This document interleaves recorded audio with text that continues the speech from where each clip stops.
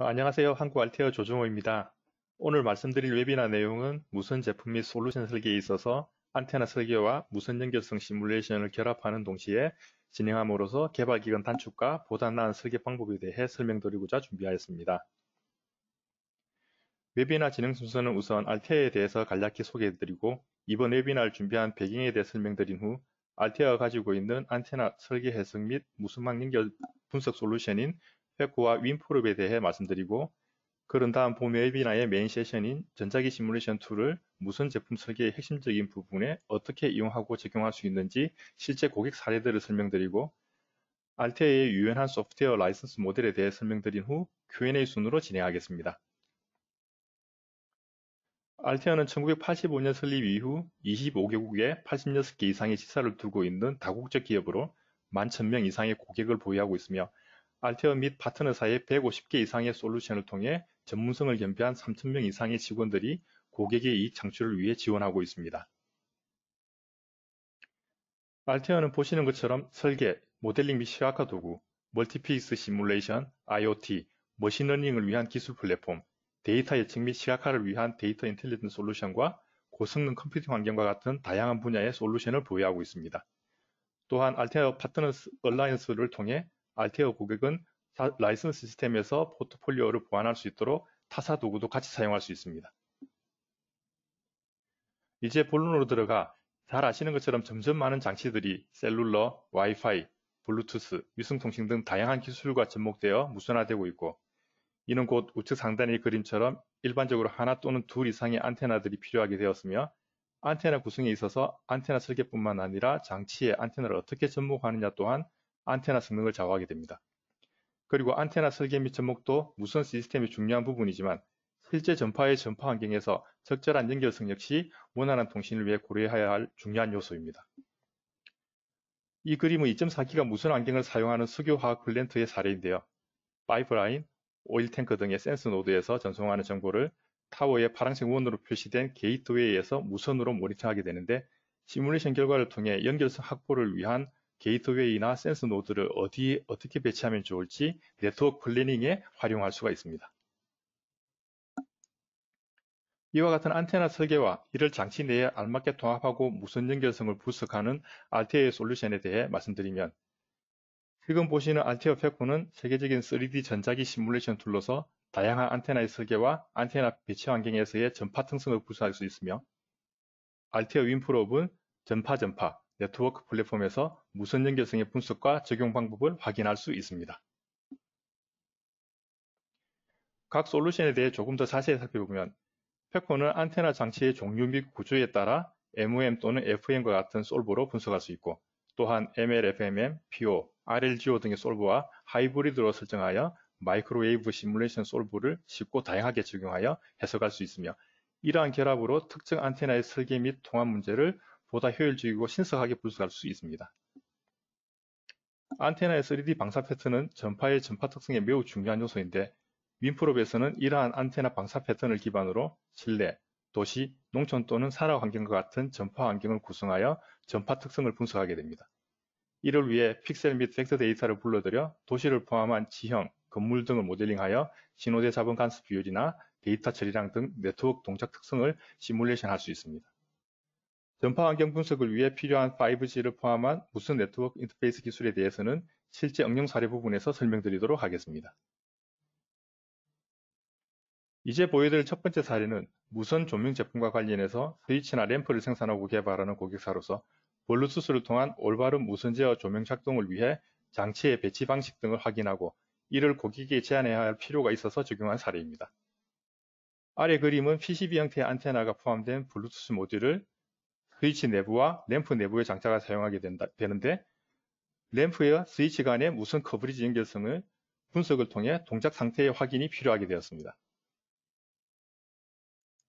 무선 조명 시스템을 위해 PCB 형태의 안테나가 설계된 블루투스 모듈을 그림과 같이 메인보드의 상단에 장착하게 통합하게 되는데 중심 주파수에서 3D 안테나 방사 패턴 및 반사 계수를 Altair Feko에서 시뮬레이션 통해 확인할 수가 있습니다.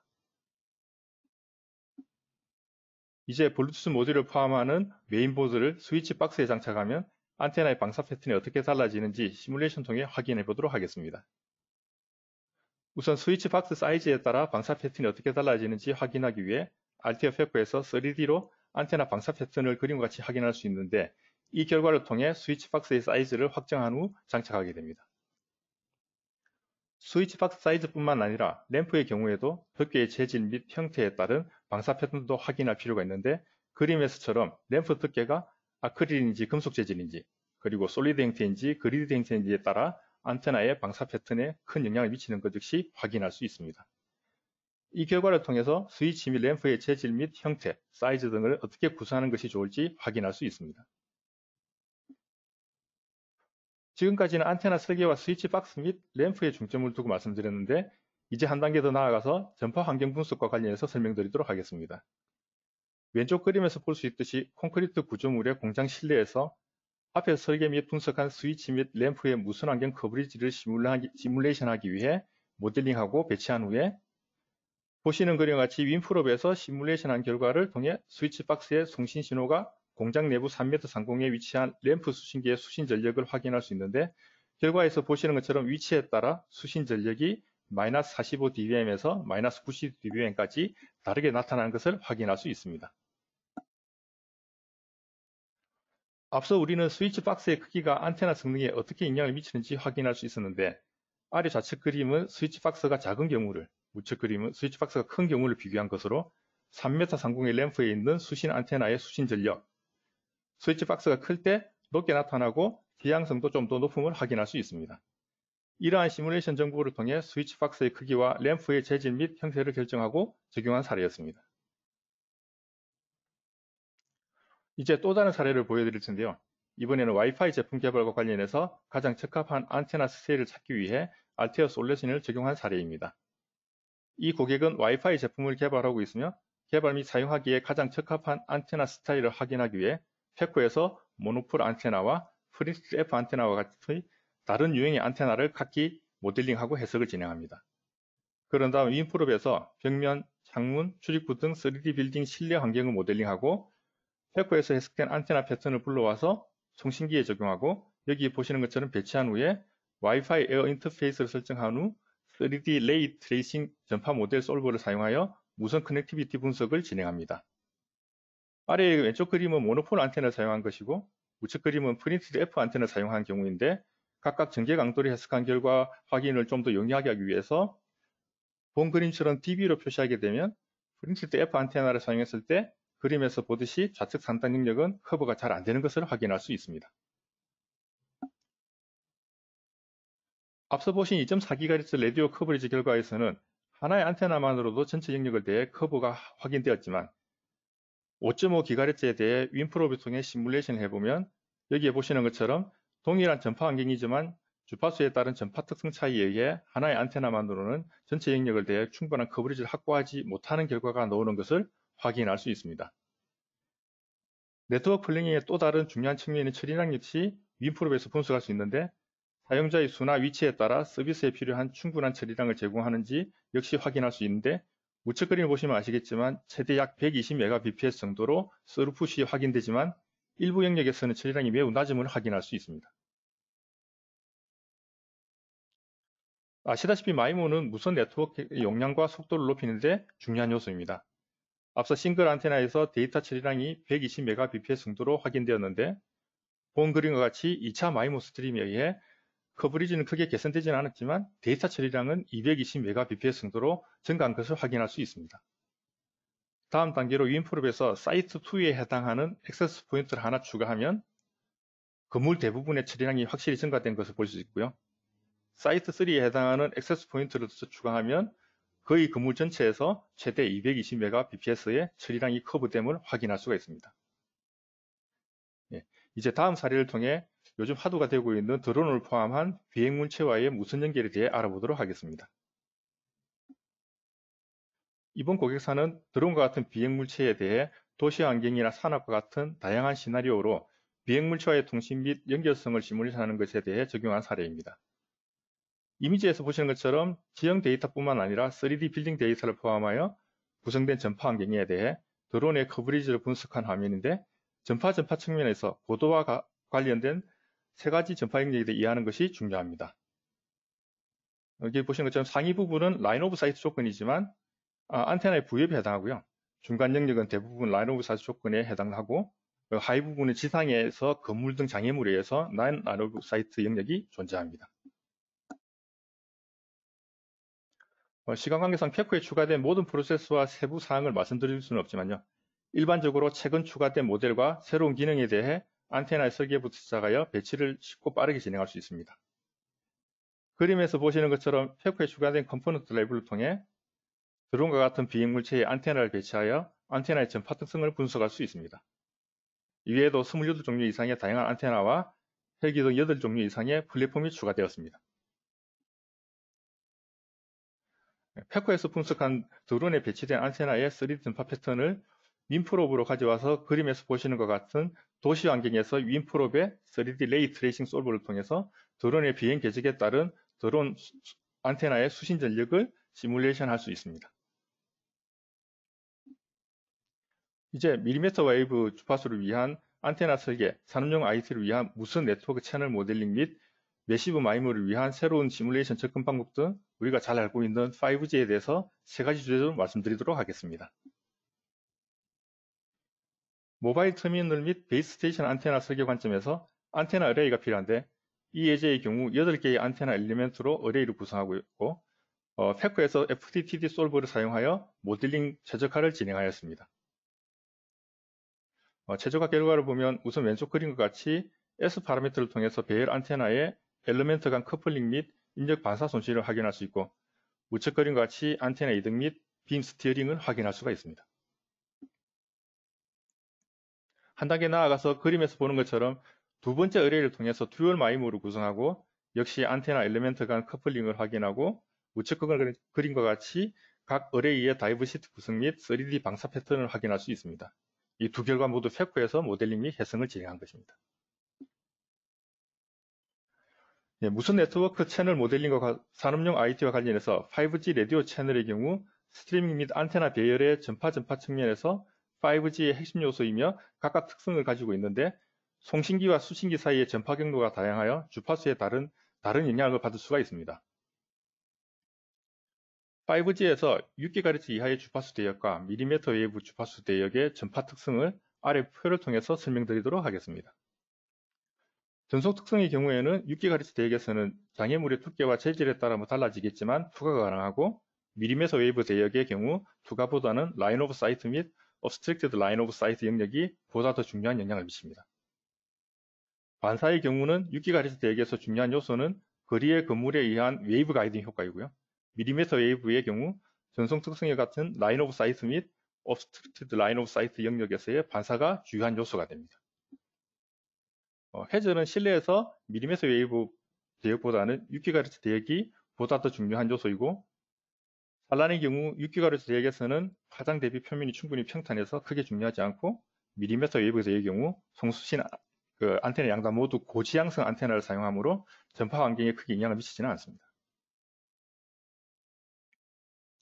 예, WinProp의 다양한 전파 전파 모델링 solver 중에 3D ray tracing solver는 5G의 모든 전파 전파 특성 및 효과를 고려하여 빠르고 정확한 결과를 제공해주며 주요 기능으로는 시간, 주파수 및 spatial domain에서 무선 채널 특성을 예측하는 것이고 이를 통해서 사용자는 전계 강도, 전파 지연 및 서로 다른 송수신기 사이의 전파 경로 각도 등을 어, 정보를 파악할 수가 있습니다. 예, 이번 자료는 작년 10월에 디트로이트에서 개최된 Global Altair Technical Conference에서 노키아 벨 연구소의 무선 인터페이스 그룹 책임자인 아미타바 고시가 발표한 자료로서 어, 5G의 산업용 IoT와의 접목과 관련해서 WinProp을 활용하여 분석한 사례를 발표한 내용을 정리한 것입니다. 어, 전체 내용은 아래 경로를 통해서 알테어 웹사이트의 resource library에서 확인할 수가 있습니다. 네, 통신 환경은 4G와 5G를 거치면서 release 15를 통해 5G의 첫 표준이 발표되었고요. 앞으로 발표될 release 16에서는 산업용 IoT의 latency가 key factor가 될 것으로 보입니다.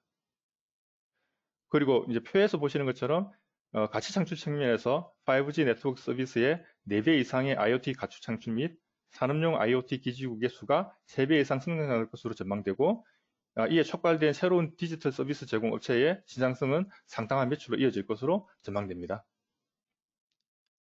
예, 이 사례는 어, 가로, 세로 높이 각각 120, 50, 10m인 직사각형 사용자 장치 환경에서 어, 표와 같은 28GHz mm wave 주파수의 대역폭 및 부반송파 spacing의 안테나 정보 등을 선정하고 벽과 지붕은 콘크리트로 그리고 이제 금속벽을 통해 공간을 분할하고 유리창이 포함된 전파 환경을 WinProp을 사용하여 모델링한 후 3D ray tracing 방식으로 millimeter wave의 채널 전파 특성을 분석한 내용입니다.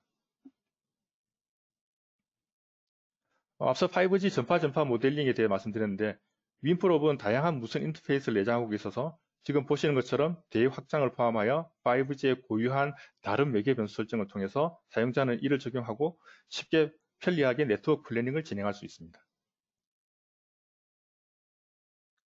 어, massive MIMO와 관련해서는 새로운 모델링 방법을 최근 이제 WinProp에 추가했는데요. 우선 5G 안테나 배열 사용 및 beam steering 및 빔 관리 프로세스는 어, 기지국이 사용자 장비에 대해 최상의 빔을 할당하고 사용자 장치가 각 빔을 조정할 수 있도록 빔을 선택합니다. 어, 여기서 최상의 빔을 할당하여 사용자에게 어떻게 제공하는지에 대해 시뮬레이션한 방법을 설명드리도록 하겠습니다.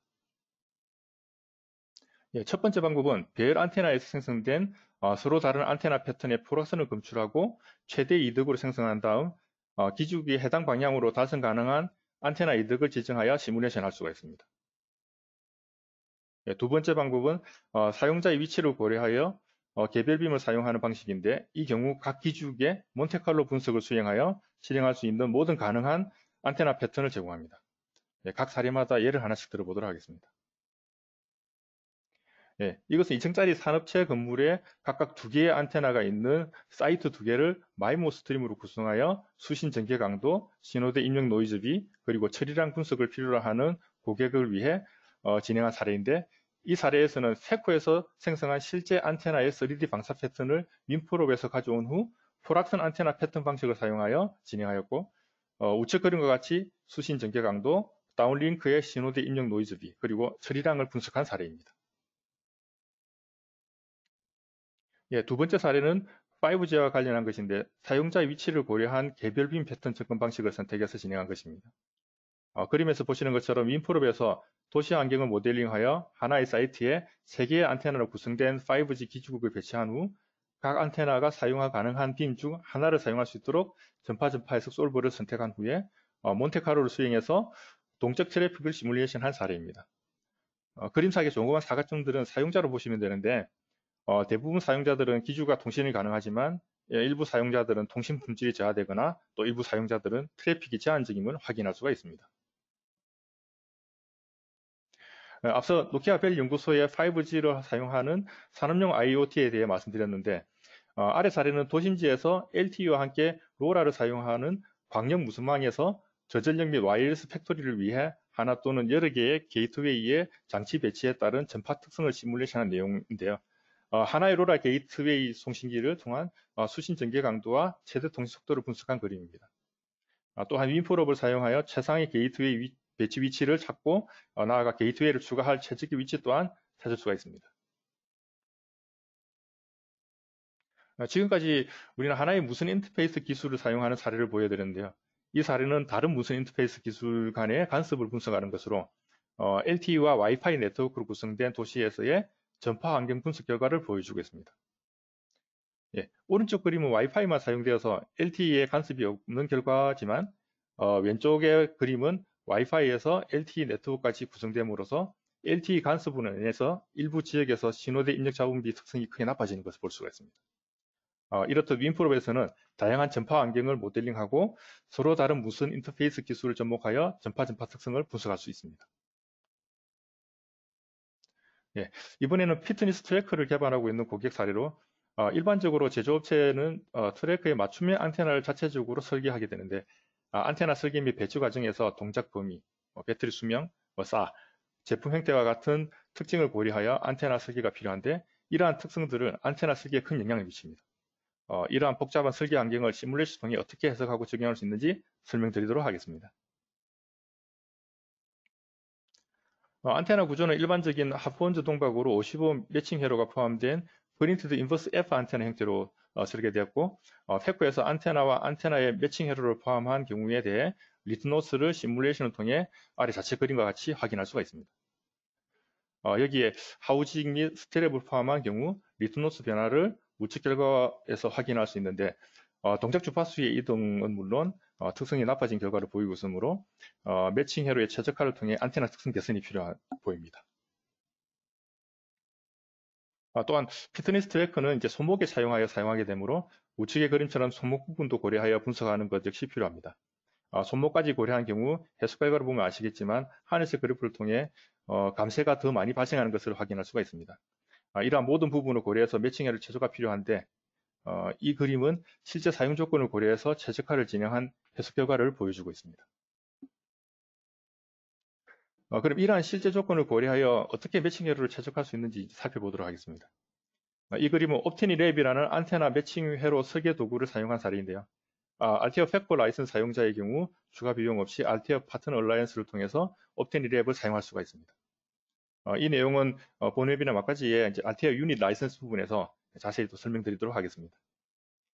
아, 그림에서 보시는 것처럼 Feko와 Optenni Lab 간의 전방향 링크를 통해서 Optenni Lab에서 설계된 매칭 회로를 Feko에서 합성한 후 정합 회로를 고려한 시뮬레이션을 통해 안테나 특성을 확인할 수가 있습니다. 네, Optenni Lab에 대해서 좀 더 살펴보면요. 아, 일반적인 매칭 회로 해석 flow는 matching 회로 topology를 선택한 후에 부품을 배치하여 매칭 회로를 설계하고 어, 최적화 파라미터를 설정한 후 시뮬레이션을 진행하여 결과를 확인하고 이를 이제 계속 반복적으로 수행해서 최적화하게 됩니다. 어, 하지만 옵테니 랩에서는 목표라는 주파수 대역과 부품의 수를 입력하면 옵테니 랩이 수천 회에 최적화된 여러 토폴로지를 제공하고 어, 이를 기반으로 설계하기 위해 만든 최적화 토폴로지를 선택해서 최적화를 진행하시면 됩니다. 예, 그림에서 보듯이 안테나의 하우징 및 손목, 그 손목 등 실제 환경을 고려해서 팩프에서 시뮬레이션을 어, 통해 안테나 3D 방사 패턴을 확인할 수가 있습니다. 결과를 보시면 아시겠지만 이제 실제 사용 환경에서는 안테나 지향성은 좀 더 지향적이지만 이득은 약 12dB 정도 줄어드는 것을 어, 어, 확인할 수가 있습니다. 예, 이제 fitness tracker와 폰과 같은 장치 간의 근거리 통신을 위해서 이제 루프 안테나를 사용해서 통신하게 되는데 어, Feko의 자동화된 솔루션을 통해서 multi 루프 안테나를 어, 쉽게 모델링하고 시뮬레이션을 통해 어, 뭐 line segment나 커플링 같은 것들을 어, 분석할 수 있습니다. 예, 아래 내용의 좌측 그림은 루프 안테나 간 거리에 따른 H 필드를 확인한 것이고요. 어, 이 결과는 주파수별 S 파라미터의 변화를 나타낸 그래프입니다. 예, 루프 안테나의 housing 그리고 스트랩 통합 측면에서 어, 오른쪽 그림은 이제 안테나 간의 거리에 따른 H field 분포를 보여주는 것이고 어, 적색 그래프를 보시면 아시겠지만 strap을 부착하면 어, 자기장 감소가 하는 것을 확인할 수가 있으며 어, Feko에서 이러한 시뮬레이션 통해서 개발 초기 단계에서부터 안테나의 배치 조건에 따른 검증을 진행할 수가 있습니다. 이제 machine learning에 적용한 최적화 접근 방법에 대해서 사례를 통해 말씀드리고자 합니다. 어, 안테나 설계 및 최적화에 있어서 machine learning의 적용은 수학적 모델을 구축하기 위해 기하학적 변수 설정 및 안테나의 return loss 등 목표를 설정하고 Feko와 하이브리드 스트, 아, HyperStudy를 통해서 어, 최적화를 수행합니다. 어, Feko를 통해 최적화 파라미터를 찾고 이를 HyperStudy로 가져와서 데이터를 생성한 후에 훈련된 모델을 사용해서 데이터를 생성함으로써 안테나 설계를 빠르고 어, 예, 빠르게 진행할 수가 있습니다. 예, 아래 사례는 1.575GHz GPS patch 안테나로서 어, 반사 계수를 목표값으로 설정해서 어, patch 사이즈, feed 위치, slot의 길이와 폭 등 안테나 파라미터를 머신러닝을 통해 최적화한 사례입니다. 어, 결과 그래프는 반사 계수를 보여준 것인데요. 빨간색은 원래 디자인의 반사 계수이고 어, 녹색은 일반적으로 우리가 진행하는 최적화 방법 그리고 파란색이 머신러닝을 통해 최적화를 진행한 안테나의 반사 계수를 보여주고 있습니다. 네, 그림에서 보시는 것 같이 머신러닝이 설계를 최적화하는데 훨씬 빠른 방법을 제공함을 확인할 수가 있습니다. 예, 이제 RFID와 관련해서 오늘 두 가지 사례에 대해서 말씀드릴 텐데요. 어, 첫 번째 사례는 안테나 통합 및 시스템 성능과 관련된 것인데 어, 아시다시피 RFID 시스템은 태그와 리드로 구성이 됩니다. 어, 왼쪽 그림은 페코에서 모델링 및 해석한 900MHz RFID 태그인데요. 이 안테나를 음료수병에 부착하면 3D 안테나 패턴이 변화함을 볼 수가 있고 또 그림처럼 여러 개의 음료수병이 배열된 상태에서는 안테나 패턴이 크게 변화함을 확인할 수가 있습니다. 또한 이제 본 그림 RFID를 어, 페코에서 MOM 솔브로 시뮬레이션한 내용인데요. RFID 자체만 놓고 본다면 MOM 솔브를 사용해서 runtime 및 메모리를 줄일 수가 있는데 문제는 지금 그림처럼 RFID가 지게차에 장착된 경우 이제 구조가 너무 커서 MoM으로 분석하는 데는 무리가 있는데 이런 경우 페코의 MLF, MM 솔버를 사용하면 어, 메모리 및 runtime을 줄일 수가 있습니다.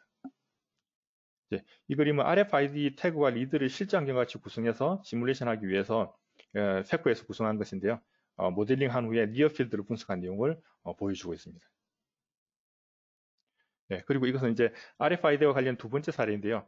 2019년 Altair EM 학생대회에서 우승한 사례입니다.